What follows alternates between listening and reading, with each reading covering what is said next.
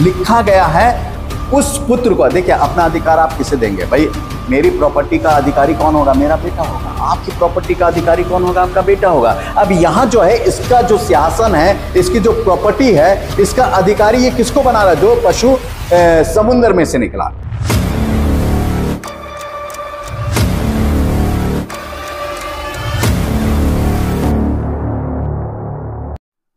प्रभु यीशु मसीह के मधुर नाम में आप सबको जय मसीह। प्रभु, आप सबको बताए से आशीष दे, आमीन। हम बात कर रहे हैं शैतान के चक्रव्यूह की। शैतान के चक्रव्यूह के पहले भाग में हमने सीखा था कि शैतान के चक्रव्यूह से हम कैसे अपने आप को बचा सकते हैं। आज हम सीखेंगे कि शैतान का काम करने का तरीका क्या होता है। जब हम उसके, हमें उसके काम करने के तरीके की जानकारी होगी तो हम शैतान के चक्रव्यूह से जो है, वो बचने की कोशिश कर सकते हैं। जी हाँ परमेश्वर का वचन इस बात को बताता है कि शैतान का जो काम करने का तरीका है, वो कैसा है? पहले हम इसको समझ लें। पहला है, शैतान परमेश्वर की तरह कार्य करने की कोशिश करता है। ध्यान कीजिएगा कि शैतान जो है, वो परमेश्वर के तरह जो है काम करने की कोशिश करता है ताकि लोगों के अंदर ये भ्रम पैदा कर सके कि ये काम परमेश्वर का है। ये काम परमेश्वर ने करा है, परमेश्वर ने किया है या परमेश्वर के द्वारा किया जा रहा है और लोग उसमें फंसकर जो है, अपने जीवन को जो है, बर्बाद कर जाते हैं। क्योंकि हमें शैतान के काम करने का तरीका पता होना चाहिए, क्योंकि वो बिल्कुल वैसे ही काम करता है। मेरे साथ आप निकाल सकते हैं, होशे ग्यारह अध्याय, उसके नौ पद। मैं अपने क्रोध को भड़क भड़कने ना दूँगा और ना मैं फिर प्रेम को नाश करूँगा, क्योंकि मैं मनुष्य नहीं, परमेश्वर हूँ। मैं तेरे बीच में रहने वाला पवित्र हूँ मैं क्रोध करके ना आऊँगा। अब यहाँ परमेश्वर, यहाँ जो मेन बात है, मुख्य बात पर मैं बात करूँगा। यहाँ परमेश्वर क्या कहता है? मैं मनुष्य नहीं हूँ, मैं परमेश्वर हूँ। मैं परमेश्वर होने का मतलब सर्वोच्च सृष्टिकर्ता परमेश्वर, ब्रह्मांड का रचने वाला। रचयिता जो है, परमेश्वर वो है। परमेश्वर अपने आप को बताता है। मगर अब ध्यान करें शैतान बिल्कुल यही चीज़ शब्दों का प्रयोग करता है और अपने आप को दिखाता है।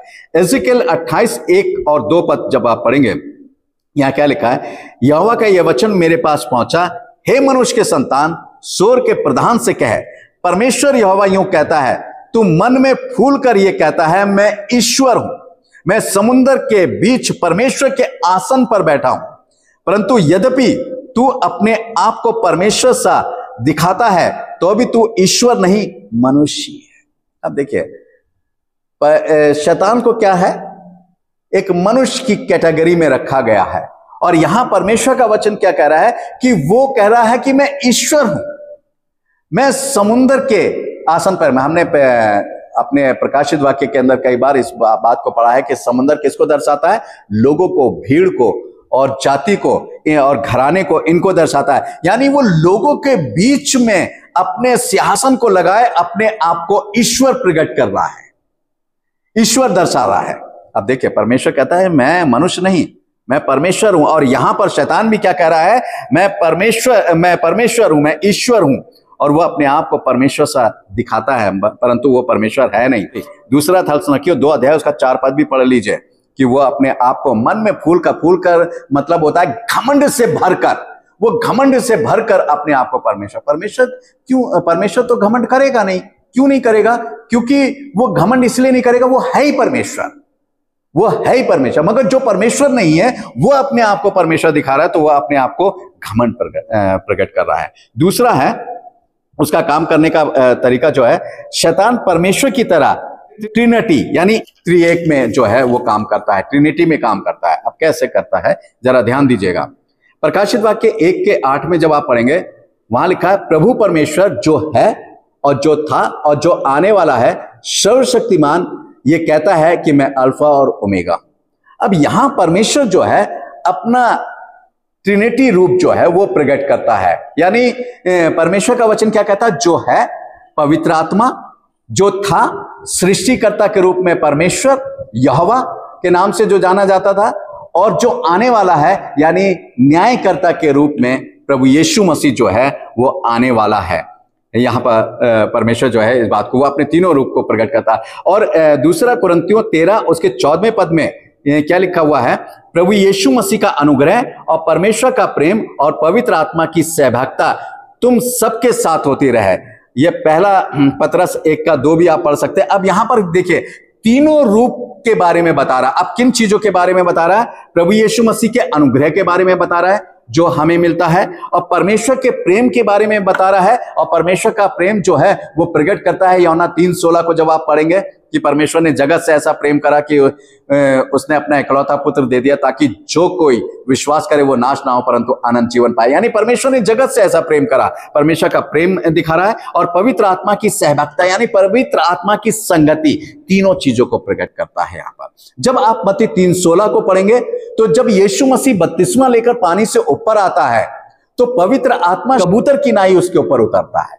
प्रभु यीशु मसीह जो परमेश्वर का पुत्र है, पवित्र आत्मा जो कबूतर की नाई उस पर उतरा है, और फिर यह आकाशवाणी होती है कि परमेश्वर का वचन जो है, वो इस बात को बताता है कि ये मेरा प्रिय पुत्र है। वहाँ पर यह आकाशवाणी होती है। अब शैतान जो है, वो भी ये ट्रिनिटी के सिस्टम में ही काम करता है। कैसे करता है? प्रकाशित वाक्य सत्रह आठ, जो पशु तूने देखे, वे पहले तो था पर अब नहीं है और अठा कुंड में से निकलकर विनाश में पड़ेगा।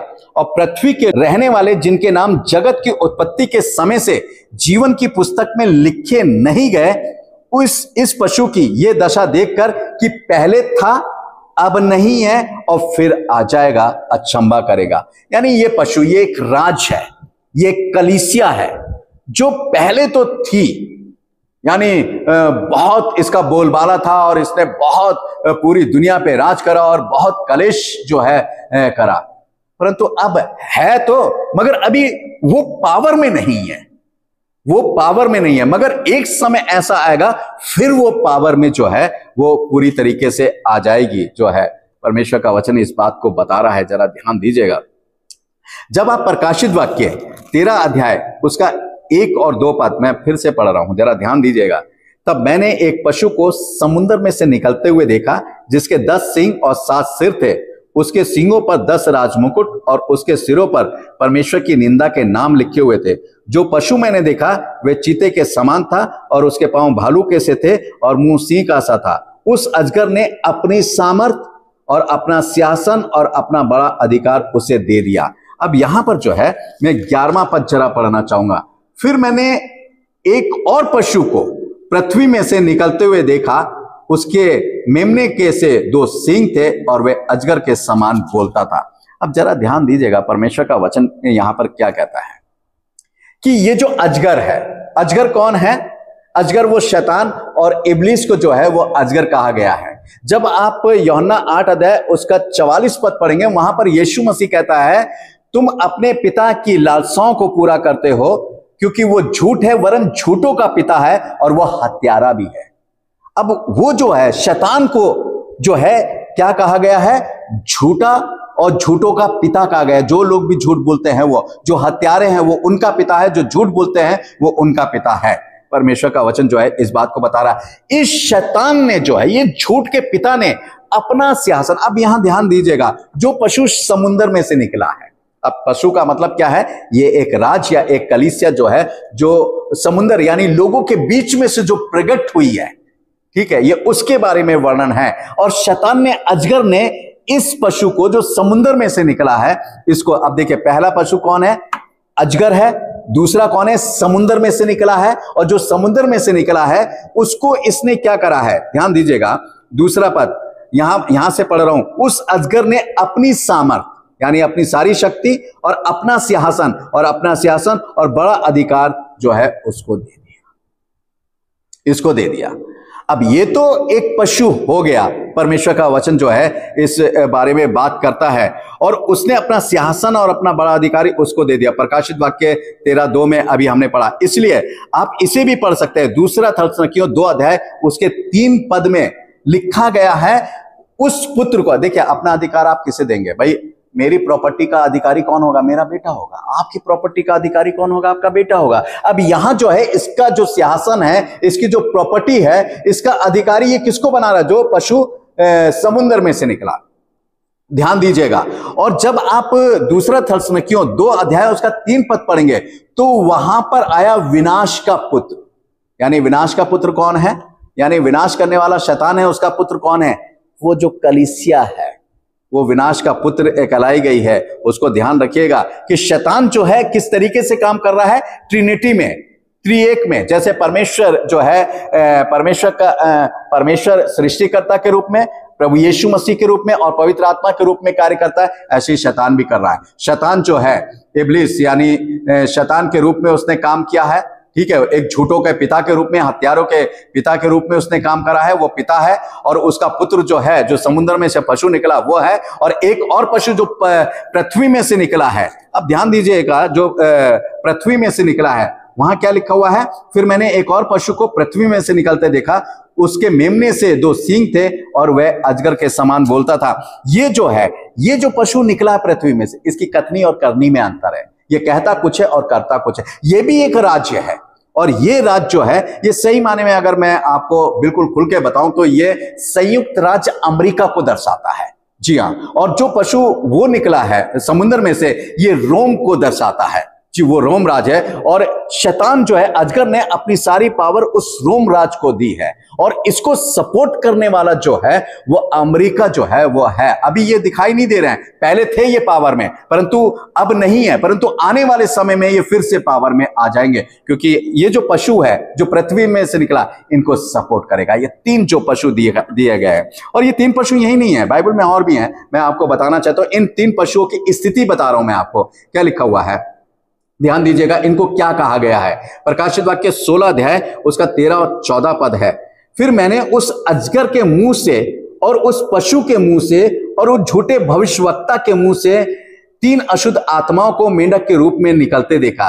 ये चिन्ह दिखाने वाली दुष्ट आत्मा है, जो सारे संसार के राजाओं के पास निकलकर इसलिए आती हैं कि उन्हें सर्वशक्तिमान परमेश्वर के उस बड़े दिन की लड़ाई के लिए इकट्ठा करें। अब यहाँ पर जो है, यानी उस अजगर के मुँह से, उस पशु के मुँह से जो पृथ्वी में से निकला, यानी रोम और उस झूठे भविष्यवक्ता, यानी झूठे भविष्यवक्ता, यहाँ अमेरिका को कहा गया। अमेरिका के अंदर से बहुत से भविष्यवक्ता जो है, निकले हैं, बहुत से सेवक जो निकले सब झूठी भविष्यवाणी करते हैं और झूठा प्रचार जो है, वो अमेरिका से बहुत ज़्यादा, सबसे ज़्यादा भ्रष्ट, भ्रष्टाचार जो है, सबसे ज़्यादा व्यविचार जो है, सबसे ज़्यादा जो बुराई है, वो अमेरिका ही के अंदर पाई जाती है। आप देख लीजिए, वो कहता कुछ है और करता कुछ है और ये तीन जो है, इनके मुँह से जो है, ये तीन चीज़ें निकली हैं। ये तीनों चीज़ें अलग अलग चीज़ों को दर्शाती हैं। मगर हम इनके बारे में बात नहीं कर रहे देखिए तीन का हम ट्रिनिटी के बारे में बात कर रहे हैं कि जैसे परमेश्वर ट्रिनिटी के रूप में काम करता है ऐसे शैतान भी ट्रिनिटी के रूप में जो है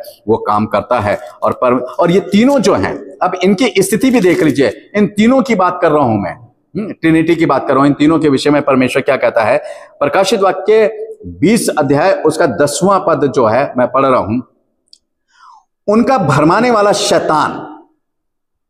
आग और गंधक की झील में, जिसमें वे पशु और झूठा भविष्यवक्ता भी होगा, डाल दिया जाएगा और वे रात दिन युगान युग पीड़ा में तड़पते रहेंगे। अब देखिए, यहाँ पर अजगर जो है, अजगर के साथ में वो जो झूठा पशु है और झूठा जो भविष्यवक्ता है, ये तीनों डाले जाएँगे। ये ट्रिनिटी इनकी परमेश्वर जो है, वो अंत के समय में समाप्त कर देगा और ये बिल्कुल समाप्त हो जाएँगे। ध्यान दीजिएगा। पर ये ट्रिनिटी के रूप में काम कर रहे हैं। देखिए, दो चीज़ें हो गई कि शैतान जो है किस तरीके से काम करता है। एक तो वो अपने आप को परमेश्वर सा दिखाता है, दूसरा जैसे परमेश्वर ट्रिनिटी के रूप में काम करता है, ऐसी वो भी ट्रिनिटी के रूप में काम करता है। और तीसरा, पवित्र आत्मा के विरोध में पाप कराता है। अब ध्यान दीजिएगा मती बारह और उसका बत्तीस पद। जो कोई मनुष्य के पुत्र के विरोध में कोई बात कहेगा उसका यह अपराध क्षमा किया जाएगा। परंतु जो कोई पवित्र आत्मा के विरोध में कुछ कहेगा, उसका अपराध ना तो इस लोक में और ना परलोक में क्षमा किया जाएगा। ध्यान दीजिएगा, परमेश्वर का वचन क्या कहता है? शैतान इस बात को बड़े अच्छे से जानता है कि अगर पवित्र आत्मा के विरोध में किसी को खड़ा कर दिया जाए तो परमेश्वर उसका जो पाप है, वो इस लोक में भी और परलोक में भी क्षमा नहीं।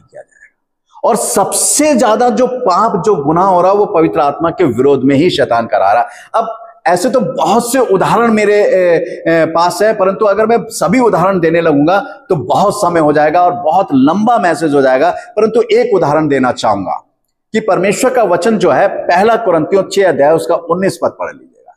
परमेश्वर का वचन कहता है, क्या तुम नहीं जानते कि तुम्हारी देह पवित्र आत्मा का मंदिर है? पहला कुरंतियों तीन अध्याय, उसका सोलह सत्रवा पद पढ़ लेना। वहाँ लिखा है, क्या परमेश्वर क्या तुम नहीं जानते कि तुम परमेश्वर का मंदिर हो? यानी परमेश्वर का मंदिर हमें, हमारी देह जो है, वो पवित्र आत्मा का मंदिर है और पवित्र आत्मा इस देह में वास करना चाहती है और इसी देह को वो दूषित कर देता है, पाप में डाल देता है। तो ये जो हम जो परमेश्वर का मंदिर हैं, यानी पवित्र आत्मा का जो मंदिर है, इस मंदिर को विनाश करके पवित्र आत्मा के विरोध में काम करते हैं।